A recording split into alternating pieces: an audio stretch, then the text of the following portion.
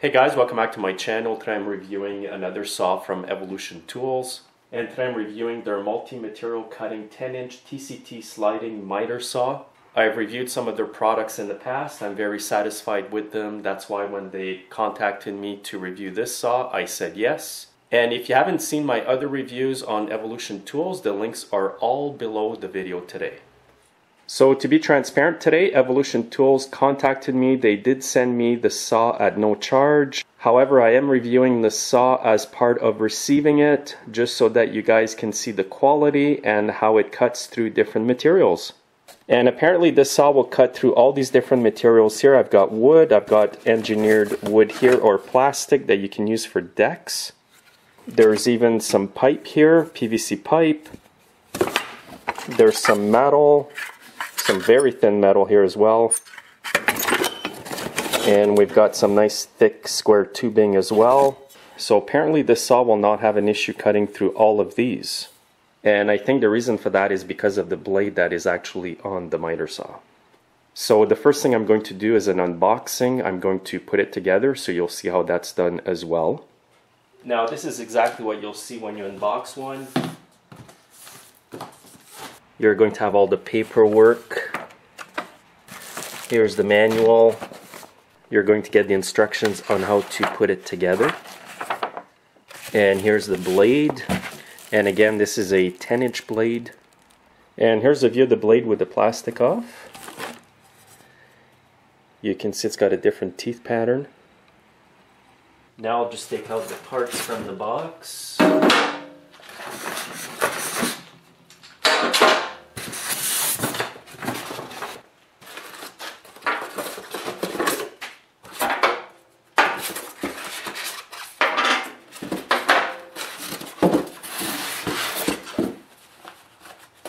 Here's the saw in the box. So I think that'll come out in one piece here. So actually it comes out in two pieces. And it's not that heavy. And at this point I will look at the instructions here just to make sure I get everything right. So now at this point you want to grab this part and insert it from the rear like this. You want the handle here facing up. Now you can grab this knob here. It does have a little spring here, so make sure it doesn't pop out. And for now you can just loosely screw it into here. And that's to lock the sliding part of the saw here. If you go all the way down, this is locked. Now at this point I will lock this knob here to lock this part. And I'm going to install the motor part. You want to slide it into the two tubes here. And when you push all the way in, you should hear these click into their locking places.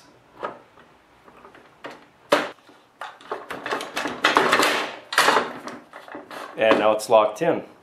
Here's where I'm at right now. If you did want to remove this, you would have to push inside here on each side. It'll get the little pins unlocked. And if you do want the miter saw to come up, just pull on this pin. You can loosen this again to slide it back and forth. Now you'll see at the back of your saw here, there is an Allen wrench.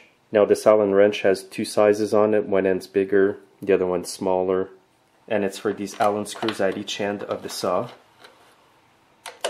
So just take them out for now.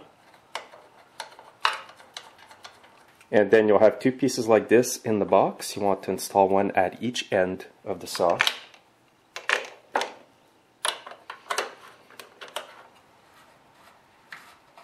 And now just repeat the same process on the other side. And you've got your other piece of plastic to go there. Now in the box you'll find this plastic piece with this screw. It's an Allen screw. And that piece goes in the back here, just like this. And again, use your Allen key or wrench that came with it. Now this part here from the box goes over here. You want to insert this shaft here and stop where the grooves are so that this little screw here can actually lock it. I think that's just to hold your wood down when you're cutting, so I'm just going to leave it out of the way for now. So now just tighten up the knob, it'll keep it from moving.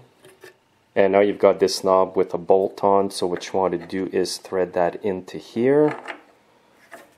And that's just to lock the position of the saw. So basically it's to lock the angle that you set it at. And when you want to move it around to set the angle, you just push down on this and you can slide it from side to side. But once the knob is tightened up, you cannot move it. And I'm going to install the bag at the back here. And basically you just squeeze the clamp here to be able to expand it to get onto the adapter. And now it's nice and tight. Now there is an adapter that did come with it. Not exactly sure what it's for. It might be to adapt this to like a vacuum for the sawdust. I'm not sure. So now at this point, make sure the bottom screw is loose. You can move the guard out of the way. Now the Allen wrench that came with the kit does fit in here. And it's reverse threaded. So just keep that in mind. And now just pull that out. So now grab the blade to make sure the saw is not plugged in. Bring this all the way up. Insert the blade. Make sure it's properly lined up on the bushing here. Now insert the other spacer. And again, remember it's reverse threaded. And again, use the wrench provided with the saw. To lock up the saw, just push this button here. And make sure you put this fairly tight.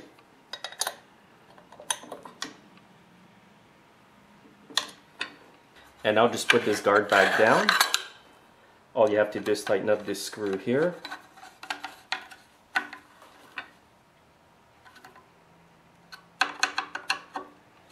And that's all there is to putting the saw together. And if you're using an extension cord like I am, make sure it's of the same gauge. Now on this saw, there is a knob at the back that if you loosen it, you'll be able to change the angle from side to side like this. For now, I'm going to leave it at zero. And the gauge is at the back here underneath the saw. So now it's plugged in, I'm just going to turn it on just to make sure it works.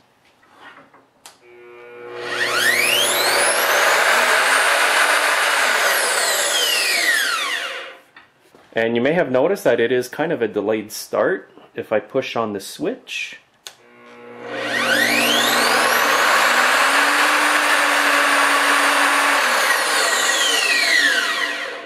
The delayed start like that takes a bit of getting used to, but I've noticed a lot of new saws now are made like that, not just the Evolution ones.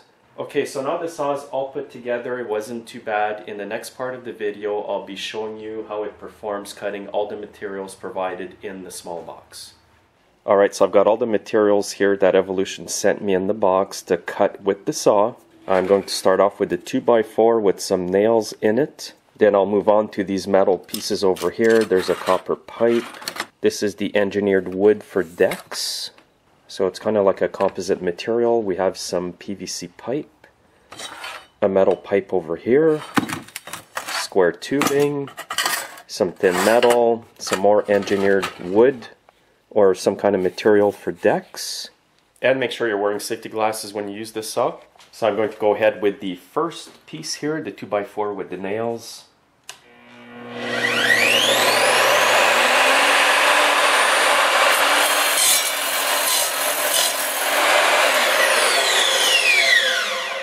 And here we are. It cut through there, no problems.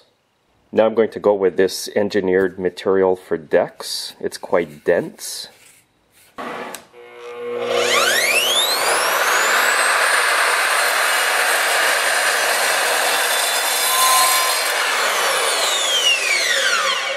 And I'll do another cut from this side.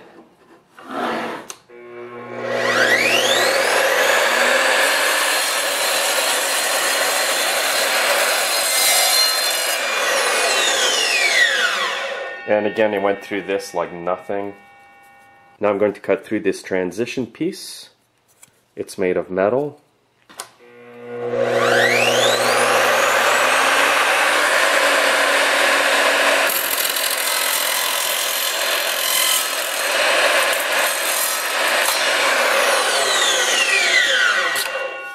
So again, it cut through this piece easily as well.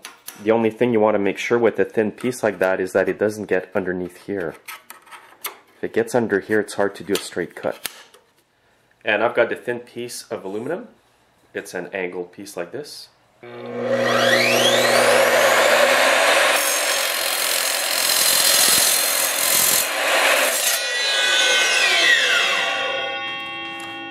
And again, it cut through that aluminum piece very easily. Next, I'll be cutting this engineered material as well. This is often used for decks.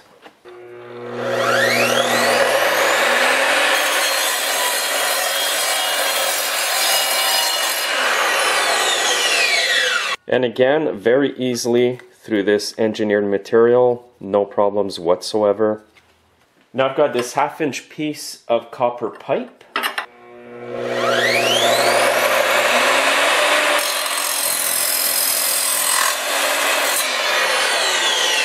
And you can see it's a clean cut as well. Not too many burrs, hardly any. So if you're doing a lot of plumbing, you could use this saw to cut all your pipe. Now I've got this piece that's a quarter inch thick. It's just a piece of metal. And we'll see how it cuts through that.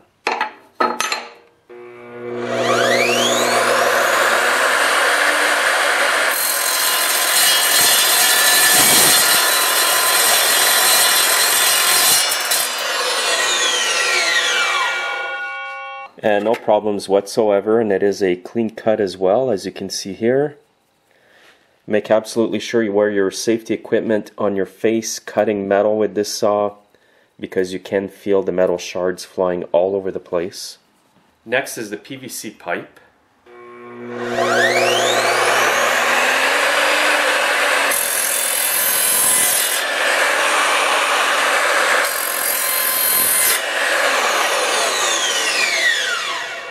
And again, we've got some nice clean cuts here, no issues whatsoever. Now we're starting to get into the bigger pieces of metal. First, I'm going to cut this thin piece here.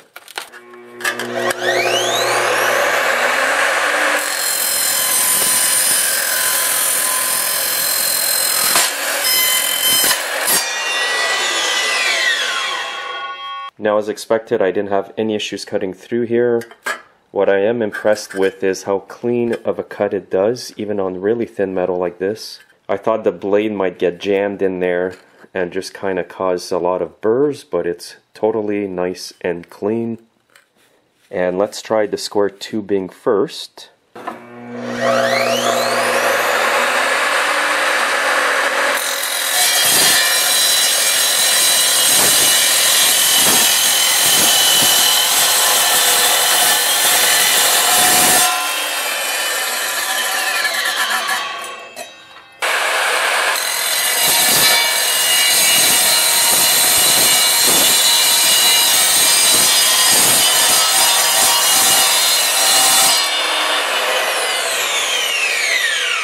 Ended up cutting two pieces off of this one. And again, I'm quite impressed. Just a few slight burrs here, but no big deal. Overall, the cut is quite clean. And that's amazing. And just a quick tip here, guys. It's a good idea to wear a face mask when you cut metal with that saw like I just did. And also wear your earmuffs.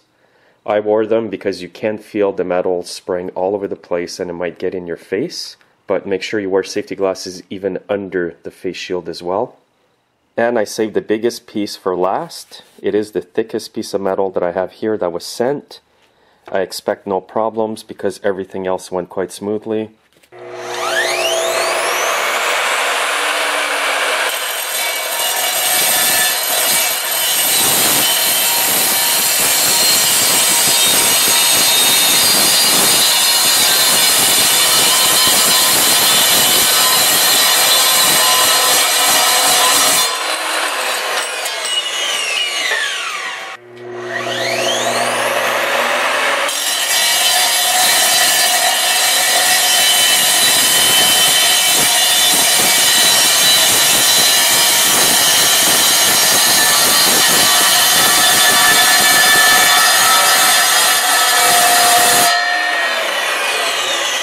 And again, no problems whatsoever. I did two cuts on this pipe. And here are the pieces. There are a few burrs. They can be easily cleaned up though. And overall it's a nice clean straight cut. So as you saw here, it cut everything quite easily, but after I test the saw like this, that's cut through a lot of different materials like that, is the condition of the blade, especially the teeth on the blade. So I've unplugged the saw here, and I'm going to spin it slowly to make sure all the carbides are still on the blade. And so far so good.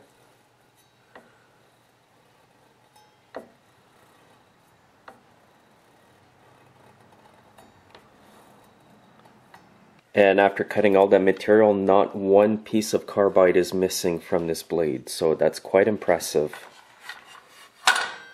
And I believe you can buy different blades to add on to the saw as well. This is the multi-material blade. So the blade that's on the steel, aluminum, wood, and plastic. And overall, I'm quite impressed with the saw. It's well built. It's pretty solid. It does not feel cheap and the material on the base is quite solid and robust as well. And the saw does come with a three year limited warranty, and there's the spec on it R255. And what I do like is you can cut a full 4x4 post over here. And it is a 15 amp saw. The cord is 10 feet. You can cut steel up to a quarter inch. And when a thick, mild steel square tube and here's the max crosscut you can do. There is also a small setting here on the saw so that you can adjust how deep or down you want the blade to go.